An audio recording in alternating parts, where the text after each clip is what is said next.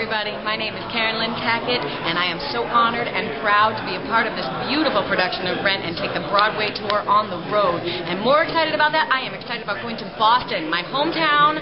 All of y'all Manuels and Carringtons and Tacketts and everyone just come see the show. It's a beautiful performance, and it will change your life. No day but today.